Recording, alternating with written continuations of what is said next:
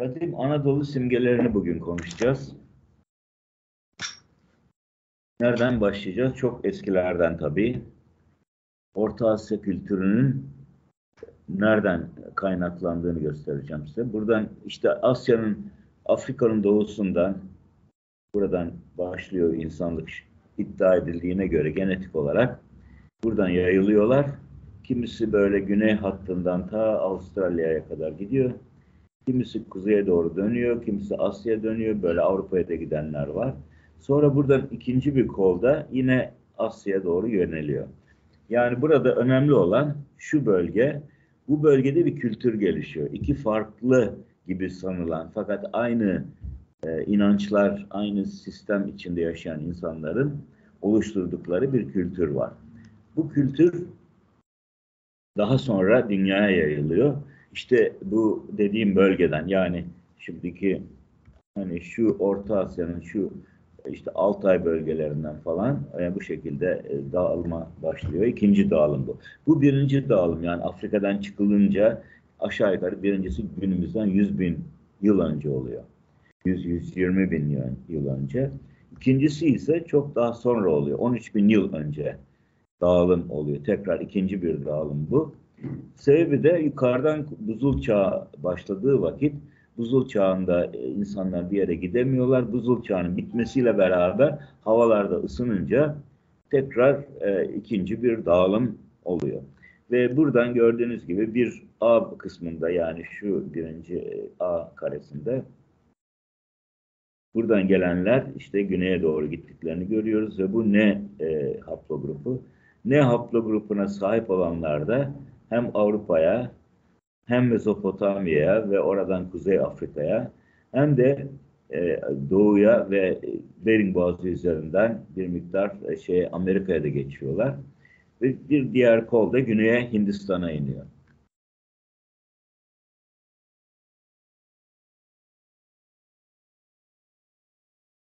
Hindistan'a iniyor.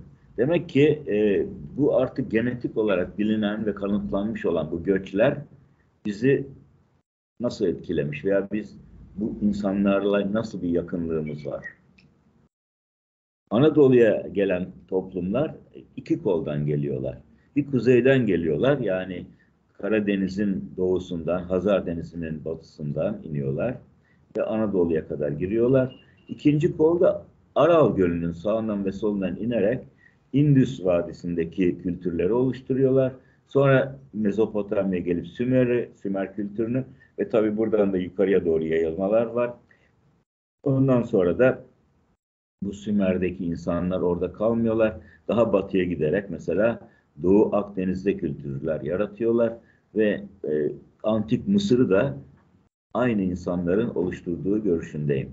Yani bu Antik Mısır'daki insanlar e, Afrikalı değil. Zaten dikkat edersen yüz şekilleri de sivri burunlu, ince yüzlü.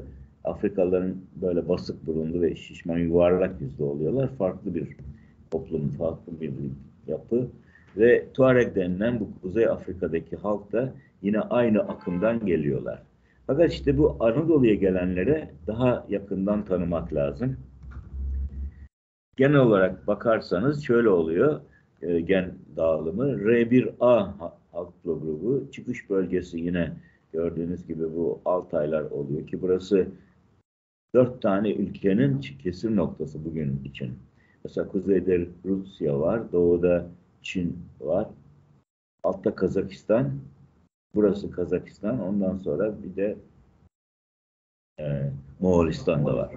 Çin ve Moğolistan. Dört tane ülke ve onun kesim noktası olan şu önemli bir yer, orasına da e, Ukok bölgesi deniyor. Oradan gelenler, bakın bu koyu renkte olanlar, bu genin fazlaca olduğu yerler ve açık renkte olanlar da genin daha düşük olduğu yerler. Ve demin ki haritaya uygun olarak bakın bütün bu e, Hindistan, Pakistan bölgesini dolduruyorlar. Oradan da güneyinde, e, bugünkü İran'ın güneyinden önce Mezopotamya'ya, sonra oradan da işte Göbekli Tepe dediğimiz Urfa'daki o tapınak bölgesine geliyorlar. Tabii bütün bu olan olaylar 12 bin aşağı yukarı 12-11 bin yıl önce. E, çünkü buradan çıkışları aşağı yukarı 13 bin yıl önce. Sonra işte bin yıl içinde de buraya geliyorlar. 12 bin veya 11 bin 500. Göbekli Tepe yer altında henüz açılmamış birçok dairesel yapı ve tapınak var. Tabii bunlara tapınak derken e, biraz da şey içinde koyuyorum böyle işaret içinde. Yani sebebi de hala bugün tartışma konusu. Yani orası gerçekten bir tapınak mıydı, değil miydi? Benim görüşüm tabii tapınak oldu. Ee, ve orada bir takım ayinler yapıldı. Bu ayinler de gördüğünüz gibi dairesel yapılar içinde yapılıyor. Dairesel bazen e, iki katlı yani iki iç içe daire ve bunları yapmışlar yani taşları böyle bu şekilde dizerek yapmışlar. Peki neden daire şeklinde yapmışlar? Mesela kare yapmamışlar. Kare yapmak çok daha kolay değil mi? Yani hani düz düz düz dikersin taşları sonra 90 derece tekrar dikersin ve böylece bir kare oluşturursun. Ama daire yapmak için belli bir işte görüş lazım. Belli bir yarıçap falan kavramı olacak. Bunlar işte o dönemde yani günümüzden 11-12 bin yıl önce dairesel tapınaklar yapmışlar. Hem de burada bir tane değil. Aşağı yukarı 20 tane var. Yan yana olan bazıları üst üste ama çoğu yan yana. Ve bu dairesel yapılar birer tapınak. İnsanlar kadim dönemde güneşi kutsal sayıyorlardı. Ve güneşe tapıyorlardı. O zaman şunu anlıyoruz. Buradaki dairesel tapınaklar güneş simgesi oluyor. Dairesel, gökte gördükleri yuvarlak e, güneş. Ve bu inanç sistemine güneş kültü denir. Kültürü değil de kültü denir. Yani kült sözü ne demek? Kült bir toplumun inanç sistemindeki yerel özellikler içeren dini törenlere ve ayinlere kült denir. Her türlü inanç sisteminin kendine göre takım ayinleri, töreleri, gelenekleri vardır. E, törenleri de vardır. Bu törenlere de toplu olarak hepsine birden kült adı veriliyor dairesel şekiller de yapılan güneş simgesi idiler. Yani demek ki bunu dairesel şekilde yapmış olmaların nedeni o insanların güneşe önem vermiş olmalarından dolayıdır. Zaten kontrol ediyoruz, bakıyoruz. Hemen hemen bütün dünya kuzey yarı diyelim, belki bütün dünya değil, güney değil ama bütün kuzey yarı toplumlarının en önemli, en değer verdikleri simge güneş simgesi ve daireseldir. Ve bunu bütün her yerde çizmişler bu Asya'dan çıkan insanlar. Şimdi bunu da göstereyim. Göbekli Tepe'de güneş kültüyle ilgili tapınaklar var. Ve burada görüyorsunuz iki tane birbirine dik sütun var. Ee, bir karşılıklı daha doğrusu dik değil birbirine karşı duran iki tane var. Diğerleri de yanlarda oluyor. Yani dairenin çevresinde oluyor. Ve bu iki tane niye ortada duruyor? Çünkü benim görüşüme göre bu kral ve kraliçe veyahut da işte o günün lideri ve eşi için e, çizilmiş olan ve oraya dikilmiş olan iki tane e, böyle bir T şeklinde sütunlar. Peki niye insan kafasını yapmamışlar da T şeklinde yapmışlar? Çünkü e, o bölge, Urfa bölgesi burası, e, kışın çok soğuk oluyor, yazında çok sıcak oluyor. Yani aşırı sıcaklık farkları var. Bu bakımdan oraya e, bir örtü gerekiyor. Bir kendilerine göre bir çatı yapmaları gerekiyor. Tabii bugünkü anlamda modern çatı değil de oraya bakın delikler var. O deliklere çubuklar saplıyorlar, dallar filan ve onların arasına da e, işte geniş yapraklı bitkileri filan koyarak bir çatı oluşturuyorlar. Ve onun için bu delikler her sütun üzerinde var. Demek ki oraya önce e, bir dal parçası saplamışlar. Sonra başka etraftaki sazlıklardan aldıkları sazlarla da diğer yaprakları ve diğer e, buldukları malzemeleri üste bağlamışlar ve böylece bir çatı oluşturmuşlar. Onun için bu delikler burada. Şimdi bu buna benzer bu şimdi bu gördüğünüz e, şu tapınaklar yani. Göbekli Tepe tapınakları. Nasıl oluyor da Anadolu'da var? Çünkü dediğim gibi bunlar Asya kökenli insanlar bunu yapıyorlar. E, Asya kökenli insanlar oraya gelmişler. Genetik olarak da biliniyor. O zaman Demek ki Asya'da da bunu bulmamız lazım. Bu türden tapınakların olması lazım. Entekin var. Bu Sölgentaş ve Arkayn bölgelerinde bu türden tapınaklar var. Burası da işte Kazakistan oluyor burası.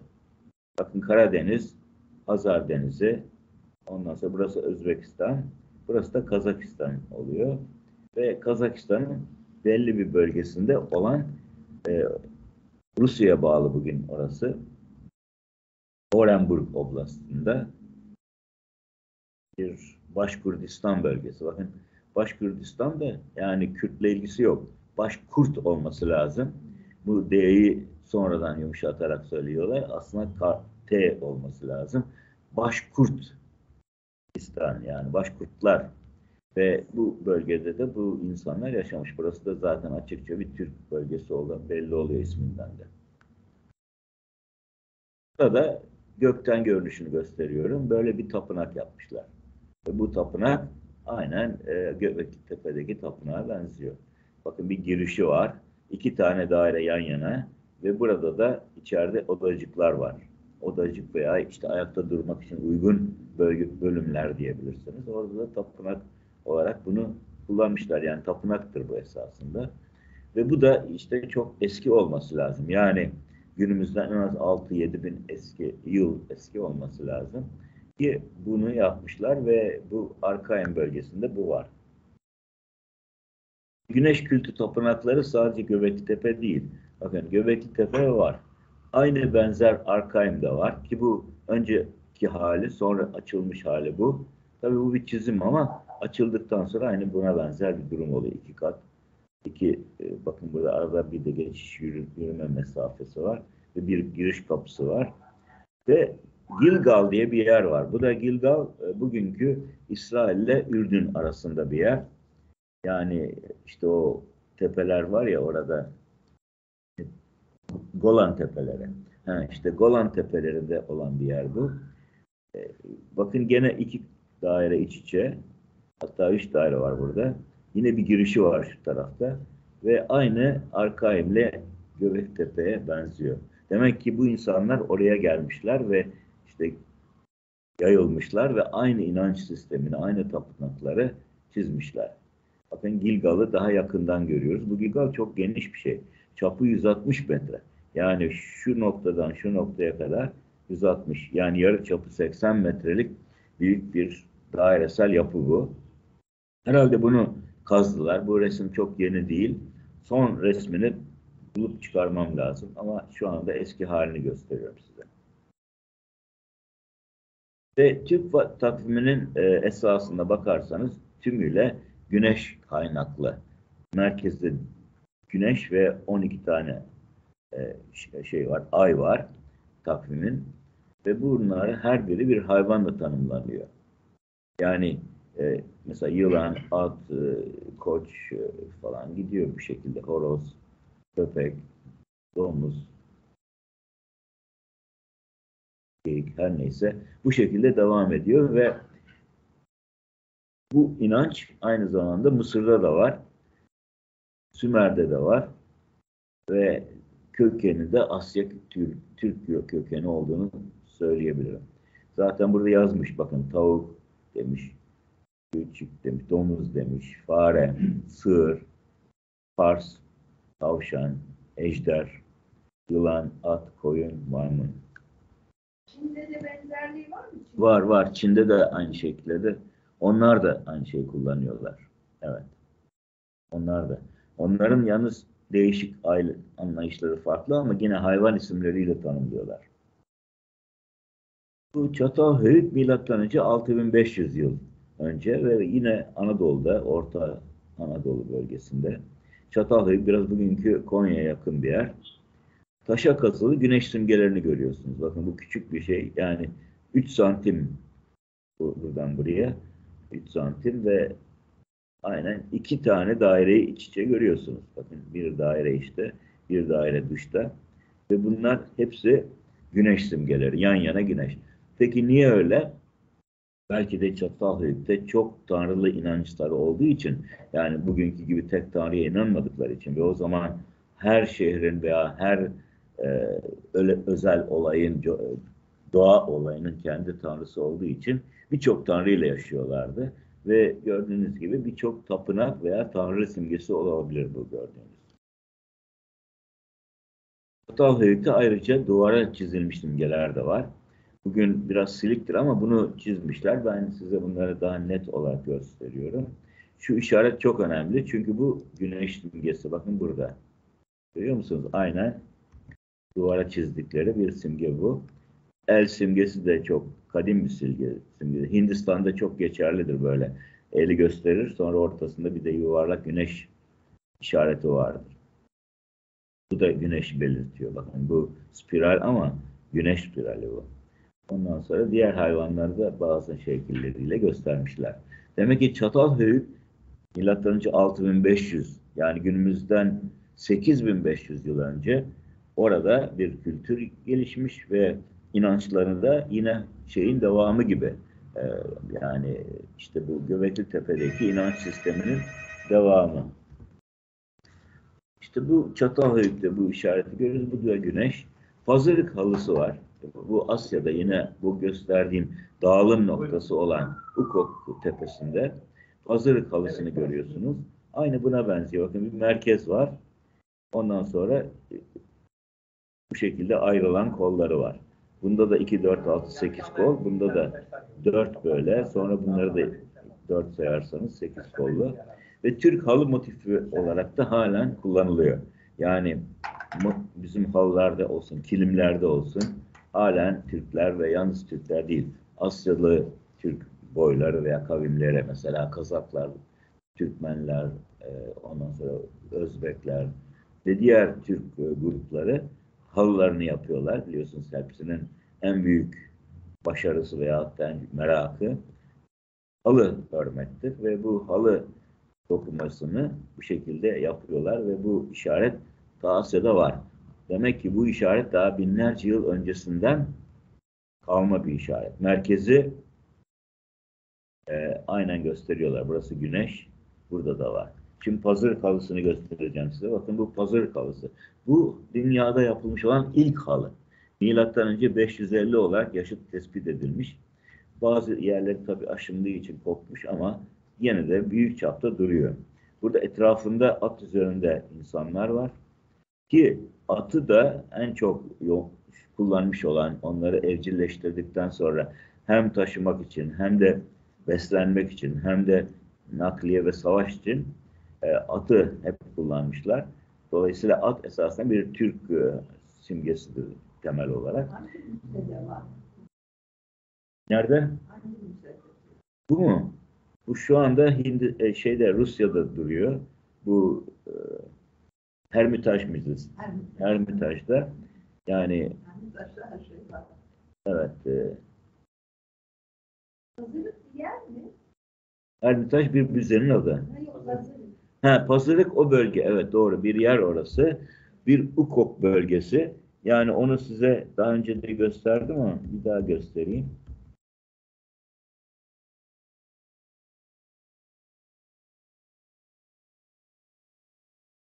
Tam da burası oluyor. Şu ne haplogrubunun dağıldığı bölge Pazarık bölgesi oluyor. Tam burası. Ve buradan dağılım çıktığı artık genetik olarak da biliniyor. Bunu ben çizmedim bu haritayı. Bu haritayı internetten indirdim. Dolayısıyla bunu kabul ediyorlar artık genetikçiler. Ama e, Batılılar başka şeyler söyleyebilir. Bunlara işte Türk demiyorlar, İskit diyorlar. Yani İskitler diyorlar. Ama İskitlerin de Türk olduğunu, Türk Saka e, boyları olduğunu da söyleyebilirim. Kanıtları var tabii.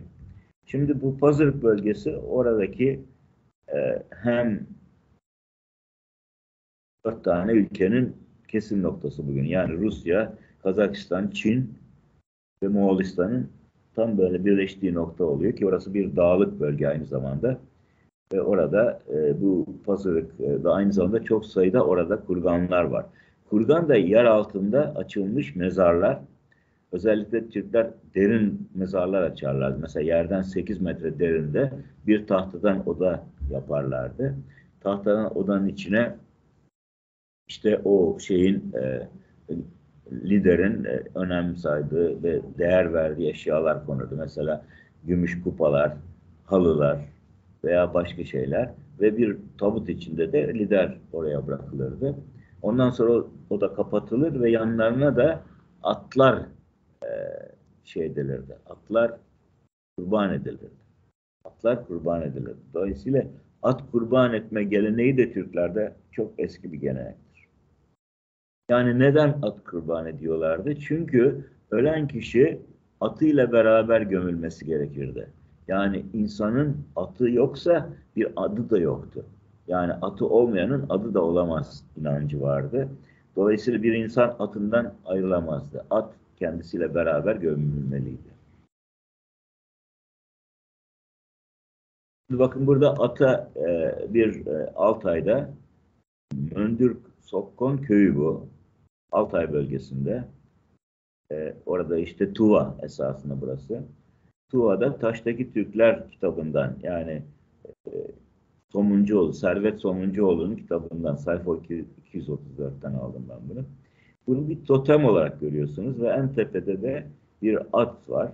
Demek ki yani atın ne kadar önemli olduğunu, ne kadar onlara, atlara önem verdiğini burada görüyorsunuz. Bir de esas göstermek istediğim şurası oluyor.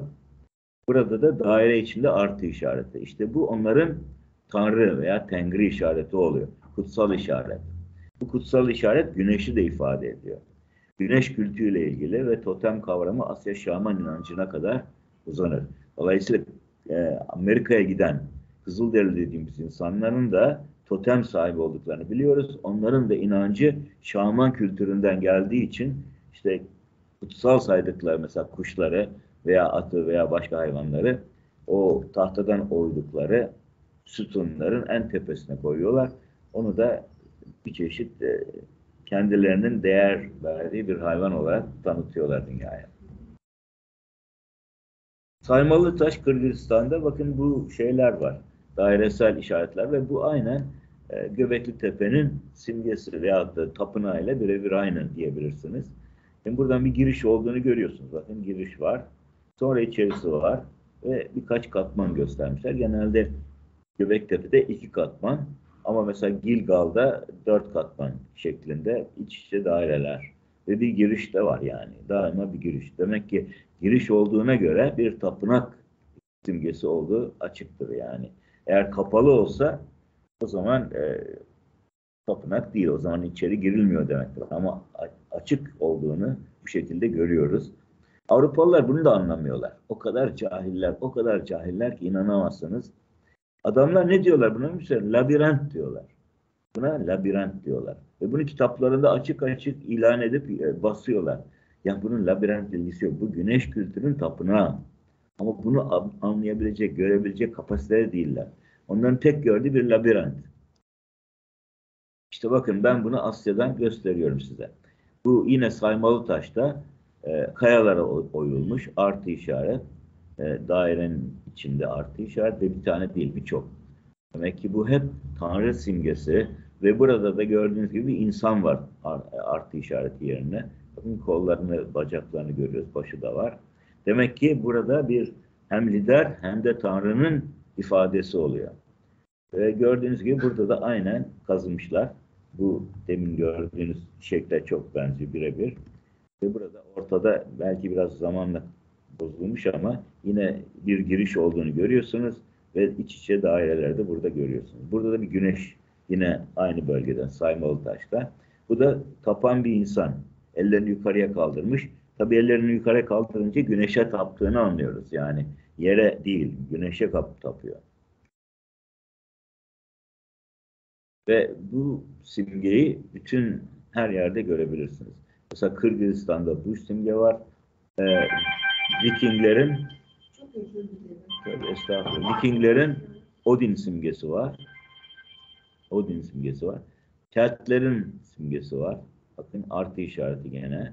Bunu haç zannediyorlar Batılılar. İşte bu Hristiyan haçı diyorlar. Halbuki Hristiyanlıktan çok önce Hristiyanlık e, mesela Keltlere e, Kuzey e, İrlanda'ya girişi veyahut İskoçya'ya gelişi milattan sonra 9. yüzyıl. Halbuki e, hatta 10. yüzyıl diyebilirsin. Keltler oraya daha önce gelmişler ve onların bu simgesi bu Hristiyanlık inancından çok daha önce dikilmiş. Dolayısıyla bu simgenin Hristiyan haçıyla ilgisi yok. Ve Çin'de de bu işaret var. Ve Girit'te de lineer ağda da aynı işareti görüyorsunuz. Şimdi Göreme ilginç. Çünkü Göreme'de yani Kapadokya dediğimiz bölgede peri, peri bacaları var. Ve peri bacaların içlerine de aynen şu işaretlerden yüzlercesini çizmişler. Pek çok yani. Kaç tane bilmiyorum ama pek çok. Şimdi bakın görüyorsunuz aynen Kırgız şeyine işaretine aynen benziyor. Yine 8 kollu yani 2, 4, 6, 8 aynen şuradaki pazarı halısındaki 8 kollu gibi. Bakın burada da 8 kollu olduğunu görüyorsunuz.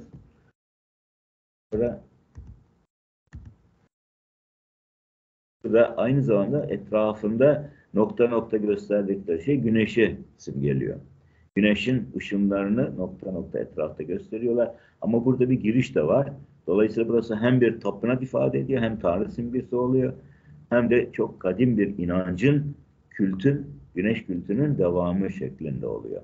Peki kim çizmiş bunları? Bunları Hristiyanlar çizmemiş. Hristiyanlar gelince milattan sonra 2. yüzyılda falan geliyorlar. İşte Romalılardan kaçarak. Ee, o zaman bu şeye geliyorlar e, bu peri bacalarına ve kendi ikonalarına yani kendi azizlerine bu şeylerin üzerine çiziyorlar. Bu simgelerin üzerine kendileri boyuyorlar, resmini yapıyorlar. Orada yaşayanlar ilk önce buna ses çıkarmıyorlar. Yani hoşgörüyle karşılıyorlar. Fakat her tarafa bunlar böyle çizilmeye başlayınca bir problem olmaya başlıyor. Ve belli bir dönem var. İşte bu döneme de ikonoklast dönem deniyor. İkonoklast dönem, ikonaların kırıldığı dönemdir. Yani oranın yerli halkı artık yeter bu sizin çizdiğiniz ikonalar. Çünkü ikonalar esasında bir e, insan yani aziz resmi. E, oradakiler de belki İslam olduğu için veya da daha önceden geldikleri için bu ikonaları çizip yok ediyorlar ve alttan kaldırıldıktan sonra ikonalar silindikten sonra bakın aynen bu işaretler ortaya çıkıyor. Ve eğer e, göremeye Kapadokya'ya giderseniz orada görürsünüz bunu. Yani silinmiş olan ikonaların hemen yanında hemen yanında bu alttan çıkan şekilleri görebilirsiniz. Demek ki bunlar e, o ikonalardan çok daha önce çizilmiş ve şeyle ilgisi yok. E, bu Hristiyanlıkla ilgisi yok. Ama sonradan bir harp çıkıyor aralarında yani bir dövüş çıkıyor. Bu dövüşü sona erdirmek için Hristiyanlar akıllı bir çözüm buluyorlar. Diyorlar ki bu İsa'nın haçı olsun diyorlar. Ve İsa haçı olarak kabul edince onlar da mutlu. Ee, bizim yerli halkımız da mutlu. Çünkü onlar da kendi ok simgeleri veyahut da tanrı simgelerini ortaya çıkardıkları için aralarındaki problem böylece bitiyor. Ama Hristiyanlar da bu şekilde haçı orada o dönemde meşhur ediyorlar. Yani Hristiyanlığa haçın böyle bir çok önemli bir haç e, yani İsa'nın gerildiği haç olarak değil de buradan başladığı görüşündeyim ve buradaki simgeyi alıp kendilerine haç olarak mal etmişler. Güneş dil kuramı da doğru olduğunu inanıyorum. Çünkü bu gösterdiğim gibi haritada hem genetik olarak hem dil olarak bir merkez var. Bu merkezden her bir yöne yayılıyorlar. İşte Mezopotamya geliyor, Anadolu'ya geliyorlar, Avrupa'ya gidiyorlar ve Bering Boğazı üzerinden Amerika'ya da geçiyorlar. Hatta Güney Amerika'ya kadar gidiyorlar. Ve bunu da başka yerlerde ayrıntı olarak anlattım. Ama bizim konumuz Anadolu olduğu için bu diğer bölgeleri biraz mesela Amerika'yı es geçeceğim. Fakat bu bir dağılım haritasıdır ve bütün kuzey e, ülkeleri yani ülkelerin de milletlerinin e, ortak simgesi olarak bu Anadolu şeyden e, Orta Asya'dan çıkan Tanrı simgesi şey diyor e, her yerde bulunabiliyor. Mesela İskandinav Viking kaya yazısını da görüyorsunuz burada. Yine bir artı gayet açık ve 8 kolu. Bakın burada 2, 4, 6, 8 ve bu şeklin şu şekilde olan benzerliği çok çarpıcıdır yani Çinlilerin. Yani Çin değil de bu e, Kapadokya'daki şekille. Ve bunu da yine Hristiyanlığa bağlamak istiyorlar. Ama e, İskandinavya'ya gelip de bu kendi yazılarını bizim Orhun kitabelerinden alıntı olan bu yazıları oraya çizdiklerinde aynı zamanda inancı da almış oluyorlar. Ve inanç da gördüğünüz gibi yukarıda da var. Dörtlü bir kol. Altta da var. Burada sekizli bir kol. Yani artı işaretini kendilerine seçiyorlar. Bunun Hristiyan haçıyla ilgisi olmadığını da söyleyebilirim. Yani bunun e, bu insanlar İskandinavya'ya gelmiş olanlar nitekim Odin'in haçını da burada gösterdim. Bakın burada Odin haçı var. Buna Odin haçı diyorlar. Yani haç işte niye diyorlar bilmiyorum ama Vikinglerin de tanrısı Odin veyahut da onların çok önemli bir kralı Odin o da olabilir. Ve o Odin'in simgesi bu. Yani bakın aynen iki tane daire iç içe ve dört kol. Aynı Keltlerde de var. Keltlerle demek ki Vikingler yakın ilişkili ve aynı Asya'dan gelen iki grup bunlar. Ve ortada da daire ve yine artı işaretini görüyorsun ve iki tane daire etrafta.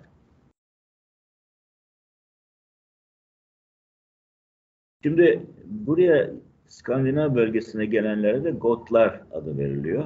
Got sözünün kökeninin Kut olduğu görüşündeyim. Buranın çıkış noktasında Kuzey Karadeniz yani bugünkü Ukrayna bölgesi olduğu görüşündeyim. Burası Got vatanı olarak kabul ediliyor. Gotların çıkışı Goti diyorlar ama esas Gotlar. Ve Gotlar da sonradan Fransa'ya geldiklerinde Gol adını alıyorlar. Ve Almanya'ya veya bu bölgeye geldiklerinde Kuzey Avrupa'ya geldiklerinde onlara da Cermenler deniyor. Güneyde de Roma İmparatorluğu var. İşte bu dağılımı görüyorsunuz. Yani Gotlar ve Vikingler yakın birbiriyle ilişkili gruplar. Ve bunlar kimisi böyle güneye, e, Skandinavya'nın güneyinde ve kimisi de Danimarka ile bütün Kuzey Avrupa bölgesine yayılmışlar. Cermenler ve Gotlar. Ve bu Q haplogrubunu burada görüyorsunuz. Q haplogrubu işte bu Anadolu'da var güçlü bir şekilde. İskandinav bölgesinde var ki işte Vikinglerden kalma. Sonra ta Hindi şeye kadar İngiltere ve İskoçya'ya kadar gidiyor. Yani bunlar deminki haritayla birebir uyuşuyor. Bunlar Gotlar ve sadece Gotlar değil Vikingler e, işte bu bölgeden yani Anadolu'ya da geliyorlar. Çünkü Kuzey Karadeniz bölgesinin e, bizim Anadolu'nun kuzey bölgelerinde Vikinglerin yerleştiğini de biliyoruz. Orada e, özellikle Sinop bölgesinde halen e, Viking eserleri var. Bu da yine bir haplogrup. Aynı Q haplogrubunun bir diğer dağılımını da burada gösteriyorum. Yine bakın aynı Asya'dan çıkmış, Orta Asya'dan demin gösterdiğim bölgeden ve bu yolu takip ederek Bering Boğazı üzerinden e, Amerika'ya geliyorlar ve Güney Amerika ile Orta Amerika'da yoğun bir şekilde bu Q haplogrubunu taşıyan insanları görüyoruz. Demek oluyor ki e, bu Q haplogrubu taşıyan insanlar Orta Asya'dan çıkmışlar, Avrupa'ya gelmişler ve bir yandan da yine Bering Boğazı üzerinden ta şeye kadar Kuzey ve Güney Amerika'ya kadar dağılmışlar. Maya kaya resmini burada gösteriyorum size. Maya kaya resmi e, tam işte gördüğünüz gibi bir artı işaret daire içinde ve Maya bölgesinde kayalara oyulmuş bir çizilmiş bir şey ve hala duruyor. Yani bozulmamış. Ve bakın burada nokta nokta gördüğünüz şeyde e, aynı göbekli şey gibi, göremedeki gibi güneşin ışınlarını belirtiyor. Burada göremeye baktığınız vakitte bu artı işaretini görüyorsunuz burada. Etrafında da nokta nokta nokta daire içinde bu noktalar. Bunlar da güneşin ışınlarını belirtiyor. Yani dört bir yana yayılan insanları da ifade ediyor. Çünkü bu hem e, kutsal bir işaret hem de bir çeşit yayılmalarının da simgesi olabilir. Yani biz Orta Asya'dan çıktık, dört bir yana yayıldık ve biz de güneş dil teorisine veya dil, güneş e, kültüne inanan insanlarız. İşte bu şekilde. Evet, tabii ki. Yukatan'da, doğru. Bu Yukatan'da bulunan bir kaya resmi. Ben gördüm Gördünüz mü? Aa, çok güzel. biliyorsunuz. Size de gönderdim. Orada bir araştırma yaptım. 30'dan fazla Türkçe kelimeyi kaydettim. Çok güzel. O çok güzel. İşte böyle insanlara ihtiyacımız var. Aynen gibi konuşmuşuz. Bu güneş simgesi e, hem tengri damgası oluyor hem de yönetici lideri de simgeliyor bir anında. Yani bu dairesel işaret, e, daire yani daha doğrusu güneş ve çevre ifade ediyor. Ortadaki artı işaret hem Tanrı'yı ifade ediyor yani dört yöne hakim Tanrı hem de dört yöne hakim yönetici lider oluyor. Yani ikisi beraber. Çünkü yönetici lider de belli bir dönemde her zaman daha doğrusu Tanrı'nın yeryüzündeki elçisi olarak kabul edilmiş. Halen bugün mesela Japon imparatoruna güneşin oğlu derler. Biliyor muydunuz güneşin oğlu dendiğini? Evet, güneşin oğlu derler. Ve Japon e, bayrağında da ortada beyaz zemin üzerine kırmızı e, daire vardır ki o da güneştir. Yani ne kadar çok güneşe taptıklarını bir dönem için. Bugün paraya tapıyorlar, o gün güneşe tapıyorlar. Evet, e, böyle bir durum bu. Sümerlerde gökte güneş tanrı ve hayat ağacı. Bakın bu Sümer tableti kil üzerinde bastırılarak yapılmış. Bu tabi oyu, e, orijinali oyulmuş fakat biz bunu kile bastırınca böyle yukarı doğru çıkıntı olarak görünüyor. Üste kanatlı güneş tanrıyı görüyorsunuz. Yine daire içinde görüyorsunuz. Bu da güneşin dairesi. Ee, ondan sonra burada da hayat ağacı ortada. Hayat ağacına nar topluyorlar. Çünkü nar her zaman hayat simgesi olarak kabul edilmiştir. Hem ateştir Farsçada fakat belki Türkçe kökenli bir sözdür o. Ateşi ifade eder çünkü nar hem uçları böyle ateş alev gibidir hem de kırmızı renktedir. O açıdan ateş, nar ve aynı zamanda hayat ağacının ürünü veya da meyvesi yani bir çeşit hayat veren bir varlık ve bir narı hani kırdığınızda içinde bir sürü kırmızı tane çıkıyor. Yani bu ne demek oluyor? Yaşam, yaşamın artışı, insanların çoğalışı onu da ifade ediyor bir bakıma. Aynı zaten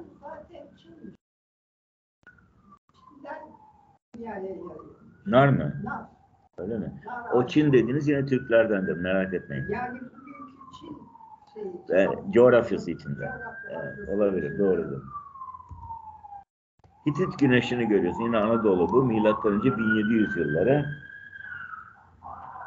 Hitit güneşi bakın ış- ışınlarını da göstermişler. Ortada da bir tane geyik var ve bu da boynuz üzerinde. Yani bu da boğa boynuzu. Zaten bu eski Türklerde de bir inanç var. Yani deprem olduğu vakit boğa başını salladı. Ondan boğa başını salladığı için deprem oldu inancı daha o zamanlardan beri var. Ve bu şekilde. Bakın burada da yine güneş kültü e, ifadesi. Yarı daire bir güneş. Güneş üzerinde de bakın 1, 2, 3, 4, 5, 6, 7, 8 tane tanrı. 8 tanrı. Niye 8 tanrı? Çünkü e, bu Hititlilerin de çok tanrıları var. Tek tanrı değil onların inancı. Her bölgede ayrı bir tanrı olduğu gibi her konuyla ilgili. Mesela su tanrısı var, e, güneş tanrısı var, fırtına tanrısı var. Her türlü tanrıları var. 8-10 tane. Onun için burada gördüğünüz gibi yine bu tanrı simgesi, tengri yani, e, daire içinde artı işareti her birinde. Ve bu artı işaret de onların işte Türk kökenli, Asya kökenli en azından diyebiliriz. O açıdan böyle. Ama Avrupalılar bunları da Türk kabul etmiyorlar. Bunlara işte Hint-Avrupa dili konuştuklarını iddia ediyorlar. Ama öyle değil tabii. Şimdi burada yine bir Hitit e, çömlek mi? Ya, çömlek diyemeyiz de bir e, çeşit e, ne denir buna? Ne denir buna? Testi diyelim. Ha, bravo güzel. Şimdi testine bu tarafında bakın bir daire var ve daireden çıkan ışınlar var. Bu da güneşi ifade ediyor. Üstte de bir kuş kafası var. Yani burada gözünü görüyorsunuz. Altta da e, dağ keçileri var. Bu dağ keçileri de yine Türklerden kalma bir gelenektir. Çok eski bir gelenek. Yani önemserler.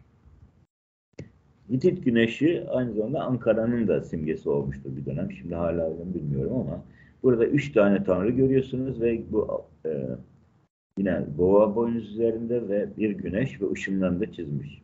Yani artık bunun tereddütsüz bir güneş olduğunu anlıyoruz. Hitit güneşi oluyor. Ve buradan bir tanesini size altta net olarak gösteriyorum. Daire içinde artı işareti. Ve bu da e, demek ki Hititlerden kalma fakat daha da eskilere giden Asya'dan gelen bir simge bu ve Tanrı'yı ifade ediyor ve onlarda da işte belki üç tane önemli Tanrı oluyor bu. Karatepe milattan önce 800. Karatepe de bugün e, işte güneyde Ad- Adana'ya yakın bir yer. Yine Anadolu'da tabii. E, burada da bir ortada bir adam var görüyorsunuz. Kuş başlı, kanatlı ve başın üzerine güneş ve güneşin de kanatları var. Bu adam büyük ihtimal şaman olması ihtimal var şaman. Niye şaman? Çünkü şamanlar manevi uçuşlar yapıyorlardı. Ve kanatlı oluşu da bu manevi uçuşlar yapan bir şaman olduğunu gösteriyor. Yani bir çeşit hani astral seyahat diyorsunuz ya ondan yani astral seyahat yapıyordu. Burada da güneşi görüyorsunuz.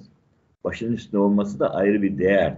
Ve ellerini de havaya kaldırmış böyle güneşin altında tutuyor. Yani güneşe tapıyor. Bunu gösteriyor yani. Güneşe taptığını ve güneş kültüyle ilgili bir kültür olduğunu Karatepe'nin anlıyoruz.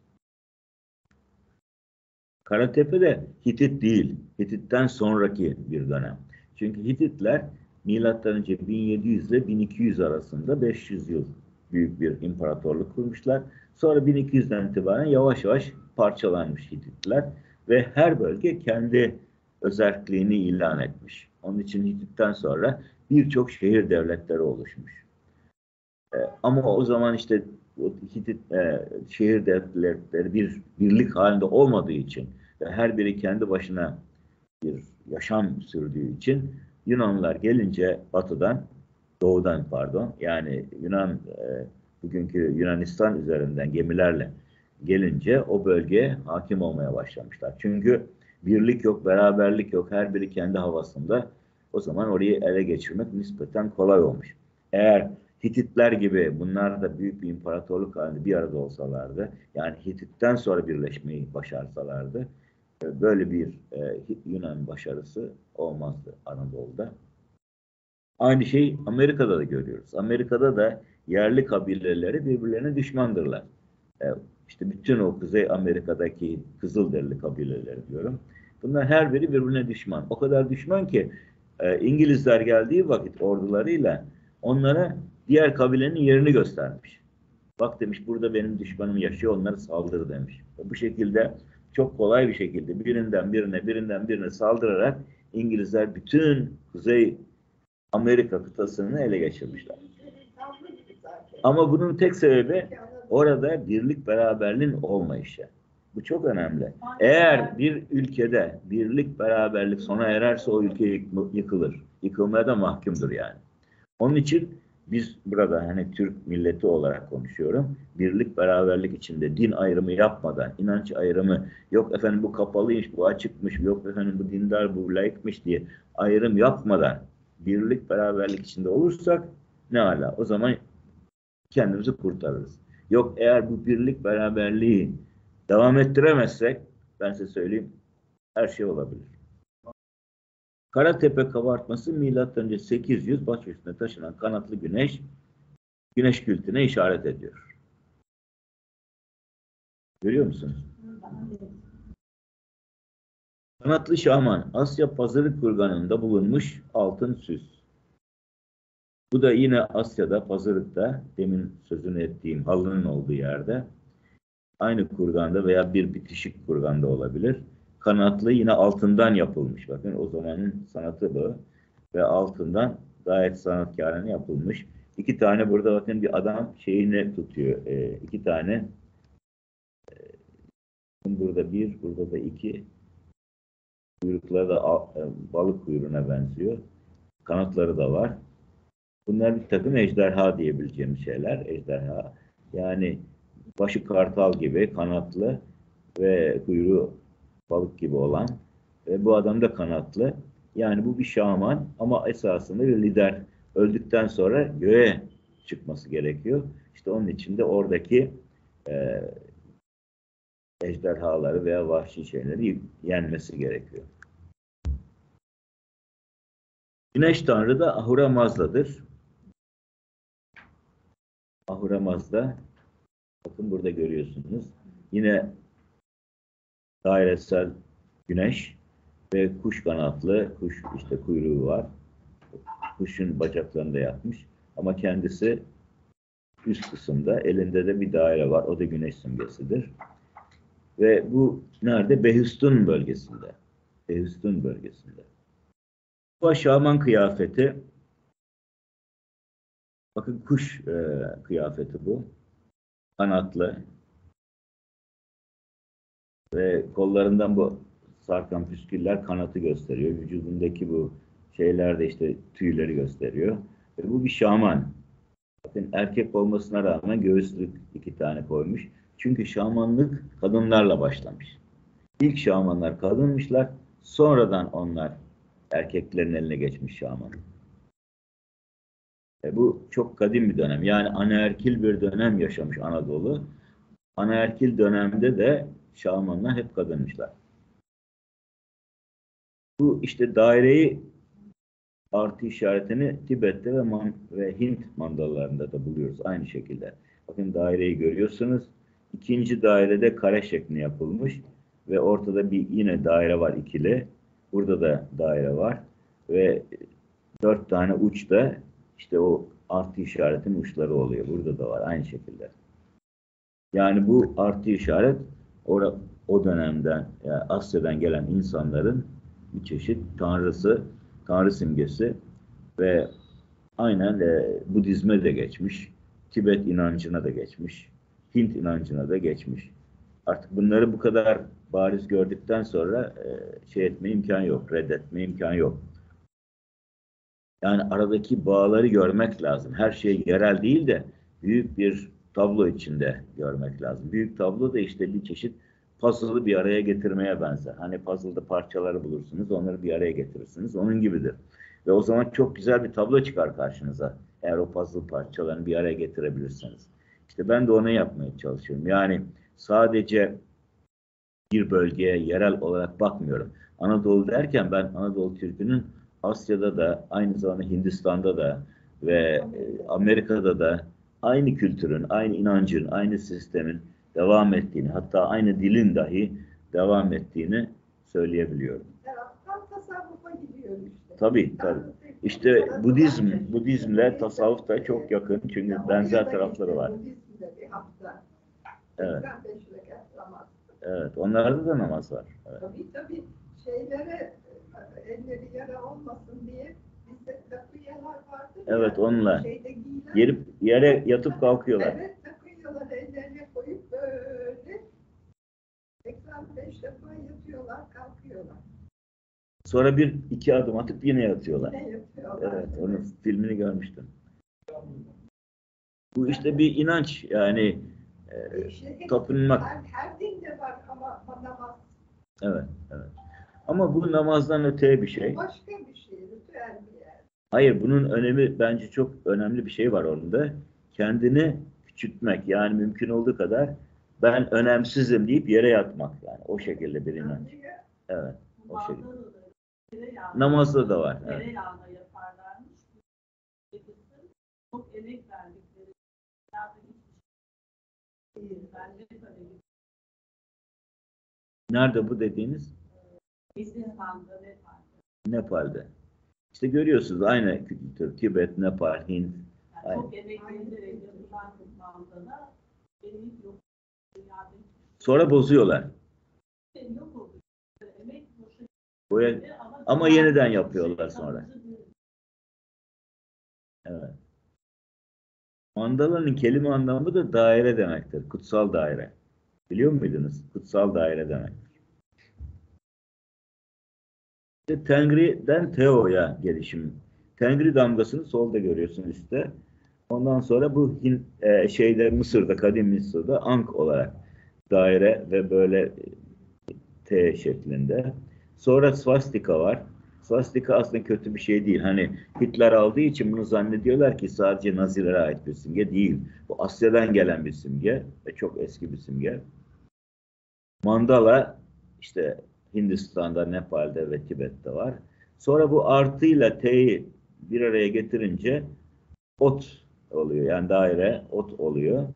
Ot da ateş demektir. Yani güneşin bir ifadesidir o. Ve Yunan'da da eski kadim Yunan'da Teo, bu T başa gelince Teo oluyor. İşte Teo da Tanrı. Yani teoloji Tanrı bilimi oluyor. Teo da Tanrı oluyor. Yani hepsinin kökenin Tengri damgasından türediği görüşündeyim. Benim görüşüm bu yani. Oradan başlıyor ve bütün dünyada şekiller alıyor, isimler değişiyor. Ama temel olarak yine Asya'nın inancı devam ediyor. Göremede işte Tengri simgelerini demin de gösterdim. Aynı Tengri simgesini burada. Yani şuradaki Tengri simgesini burada da görüyorsunuz. Ondan sonra Kapadokya Kilisesi'nde de aynı simgeyi görebilirsin. Bu Kapadokya'da işte e, onların e, ikonası. Yani bazıları çizilmiş, yok edilmiş, bazılarının üzeri çizilmiş, bazıları aynı muhafaza edilmiş. Burada da daire içinde bakın kaç kollu oluyor bu? 6 kollu, 3, 6, 8 kollu oluyor. 3, 6 ve 8. Dolayısıyla burada görüyorsunuz daire içinde 8 kollu bir mandala gibi bir şey bu da. Ve Tengri simgesini belirtiyor. Bunu yani güneş diyebilirsiniz. Ve bunu burada koymaları başın üzerinde. Hatta başın etrafında da enerji olarak aura deniyor buna. Aura ve bu aura da bir enerjidir yani sonuçta böyle. Bakın diğerlerinde de var bu aura. Yani kutsal, ruhsal e, güce sahip olan insanların başındaki enerji e, dairesi. Ona da aura diyorlar. Kapadokya melek figürünün başının üzerinde saran güneş simgesini görüyorsunuz. Bakın burada bir melek var. E, meleğin e, üç kişiyi ellerini uzatmış e, iki kişiye.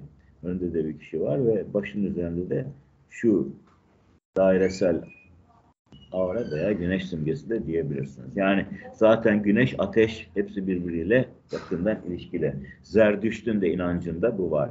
Zerdüşt de e, ateşe ve güneşe tapıyor. Auralı melek resmi Kapadokya Kilisesi'nden. O bundan deminkinden farklı bakın. Bu böyle. Bu da benzer bir şey. Melek. Ama bu esasında şamanlıktan gelen bir inanç. Belki şamanlıktan geldiği için bunu oranın yerli halkı silmemiş. Silebilirlerdi çünkü o ikonoklast döneminde pek çok e, resim çizilmiş üzere. Hristiyanlıkla ilgili olanları çizmişler, yok etmişler. Hayatta bir miktar çizmişler. Ama şamanlıkla ilgili gördüklerini de hiç ellememişler. Bakın bu resimlerde melek ve güneş simgesi oluşu ve sarı oluşu daha da ilginç. Yani güneşi olduğu gibi belirtiyor. E, bunu hiç ellememişler. Sebebi de kendilerinin şaman inancında olduğunu bildik yani oldukları için ve şaman inancına benzettikleri için bu e, melekleri ve başın üzerindeki yuvarlak e, dairesel güneş simgesini bunlara hiç dokunmamışlar. Ve dikkat ederseniz eli sağ eliyle yukarıyı gösteriyor. Bakın, parmağı yukarıyı gösteriyor. Yani burada Tanrı yukarıda, aynı zamanda Güneş de yukarıda. İkisi Tanrı ve Güneş bir arada. Ve Konya Mescidinde Selçuklu Taş Mescid diye bir yer var Konya'da. Bu duvara yapılmış bir kabartma ve bu kabartmada da gördüğünüz gibi bir melek var. Ee, kanatlı ve kıyafeti işte o zamanki kıyafet Konya'nın e, Asya. Bir kadın bu üstelik. Bakın uzun saçlı, örgülü saçını da burada çizmişler. Yani kabartma olarak belirtmişler. Demek ki ilk şamanlar dediğim gibi kadın idiler ve kadınların bu sezgi güçleri daha fazla olduğu için erkeklerden şamanlık onlarda başlamış. Sonra zamanla devralınmış. Ama her zaman kadınlar şaman olma açısından erkeklerden daha ileridedirler. Sezgi itibarıyla daha ileridedirler. Ve bugün kadınlar mesela süsleri var ve mesela astrolog oluyorlar veya bu gibi şeyler yapıyorlar. Bunun da nedeni köklerinde şamanlık oluşundan dolayıdır. Sonuca gelelim. Evet çok uzun sürmedi ama olsun bir saat yeter. Asya'dan dünyaya yayılan ön Türk kültürü Tengri simgesini gittiği her yere çizmiştir. Bunu gösterdim örnekleriyle. Kapadokya'daki peri bacalarında görülen Tengri simgelerini çizen Hristiyanlardan çok önce gelmiş olan Türk toplumlarıdır. Melek inancı da Asya kökenli göğe manevi uçuşlar yapan şaman kültüründen türemiştir. Yani melek inancının hani melek diyoruz ya şeytan diyoruz falan bütün bunların kökeninde esasında Asya kültürünün güneş kültüyle ilgili olan manevi uçuşlar yapabilen şamanlıkla yakın ilgisi var. Evet, teşekkür ederim.